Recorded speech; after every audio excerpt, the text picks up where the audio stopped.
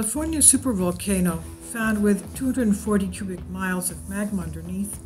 This is the Long Valley caldera that last erupted 760,000 years ago. That was a super eruption. It also erupted 50,000 years ago. And uh, we've had a, an earthquake yesterday of 5 magnitude. And uh, right after that, a 2.5 magnitude.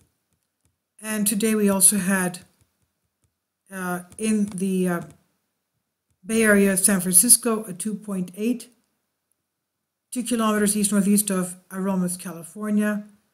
And that just happened now. And we've had 43 reported feeling the earthquake as far as uh, what was reported to USGS. But um, for those who don't know too much about the uh, Long Valley caldera, it's about 600 miles southwest of Yellowstone and it lies on the Walker Lane Fault System, which has a lot of volcanoes, high threat volcanoes in that area. And the supervolcano erupted with a super eruption hundreds of thousands of years ago with a vast reservoir it has sitting under, under the surface semi molten magma measuring 240 cubic miles, according to a new study. This magma in the Long Valley caldera is so large it could support an equivalent eruption of massive which occurred 760,000 years ago, that released 140 cubic miles of material. By comparison, the 1980 Mount St. Helens eruption released 0.29 cubic miles. While Long Valley caldera is not likely to blow anytime soon, of course, the reports written by scientists from the U.S. Geological Survey and University of California and University of Rhode Island said we can conclude the mid-crustal reservoir is still melt-rich, they said. They said, we estimate the reservoir currently contains enough melt to support another super eruption comparable in size to the caldera forming eruption of 760,000 years ago.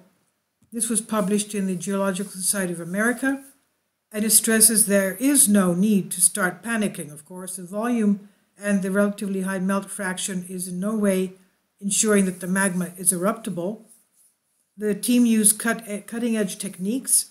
They used uh, uh, uh, thermal imaging as well to inspect the volcano in great detail to enable them to reach their conclusions.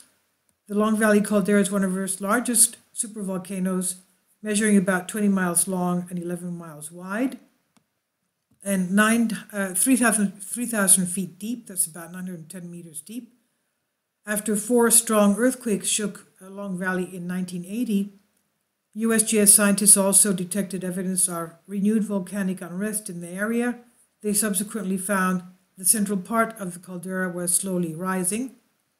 And uh, the fact sheet issued by USGS says that because such ground deformation and earthquakes are common precursors of volcanic eruptions, the USGS has con- continued to closely monitor the unrest in the region it's um, a natu- it's natural to uh, ask when the next volcanic eruption might occur along this area, Long Valley area.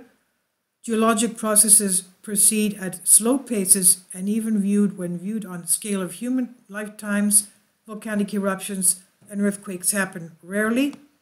And they said, nevertheless, a long history of volcanic activity in Long Valley area indicates that future eruptions will occur, Geologists found that after its creation in the massive eruption of 760,000 years ago, clusters of smaller volcanic eruptions occurred in the caldera at roughly 200,000 year intervals, they said.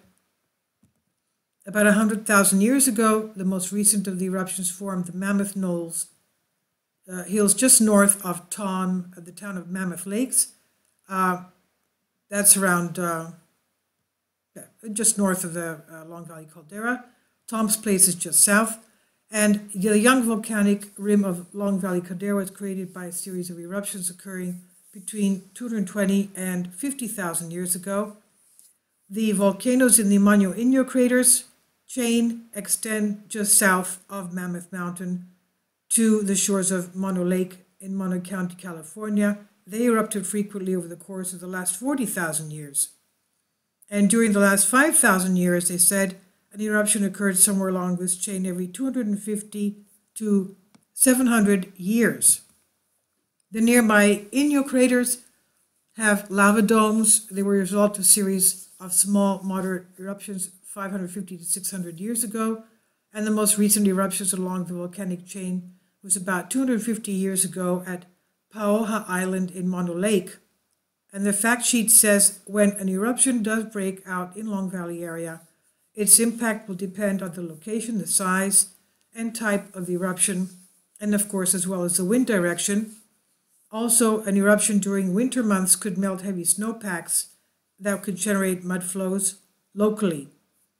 Now, Professor of Planetary Geosciences at the Open University, David Rothery, Rothery said, a major eruption in the next 100 years is extremely unlikely, but there is a greater than 50% chance of major eruption in the next few hundred thousand years. So, uh, nothing to worry about. Despite 40 years of uh, diverse investigations, the presence of large volumes of melt in Long Valley Magma Reservoir remain unresolved. And uh, they show that through waveform seismic tomography, the mid-crustal zone of low shear wave velocity, according to the geologists.